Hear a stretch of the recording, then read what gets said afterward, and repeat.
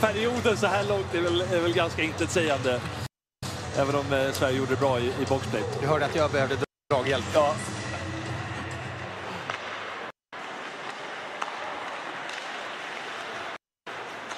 Villander. Ja, det är farligt på returen. Får han in den? Ja, det får han ifrån den där vinkeln. Starkt gjort av Noah Östlund.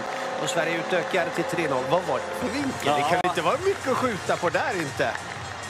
Är vaket av Sverige igen. En detalj faktiskt som Sverige genomgående gör bra. När det kommer skott så är Sverige där hela Ja. tiden med spelare på returer. det är något de har tränat på. Och, eh, Sverige har så många bra spelare, bra av Östlund och också att ta den här positionen, inte vara kvar i hörnan utan han dyker upp i perfekt timing. Det sitter ju klockrent. Wahlberg ska ha assist där, får ont där när han får pucken på sig. Och den dåliga vinkeln rakt upp i Ja. nättaket slash krysset 3-0 Nordwestlund. Så ska det tränas också lite på sadden då. Anton Johansson. Här kommer då en svensk satsning.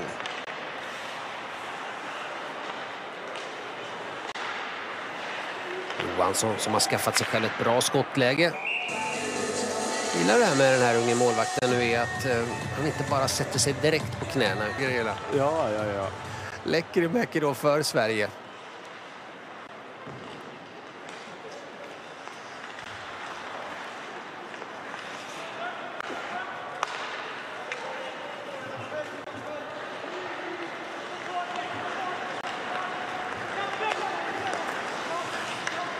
Östlund.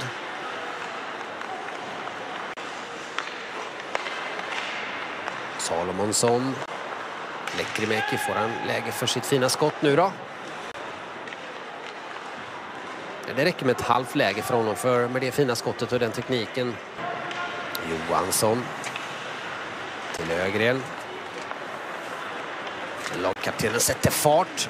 Det har han gjort flera gånger tidigare. Se om han får utdelning nu då. Jajamensan, nu får han utdelning. Och det är helt rätt att han använder sin speed och acceleration.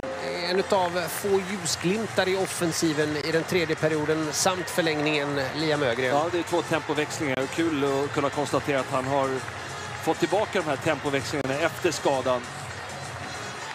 Distinkt eh, avslut också. Ser att det finns en eh, lucka mellan benen. Hårt, snyggt.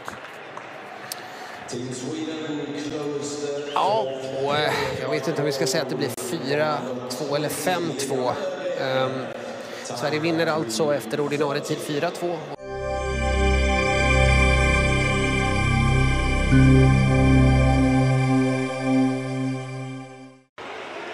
Salomonsson.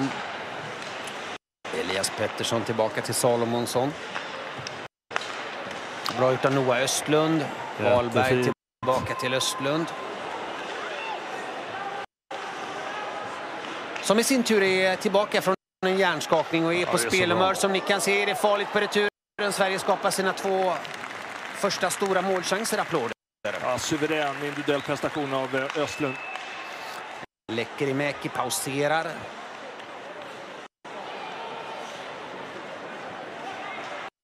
Smith. Leonard.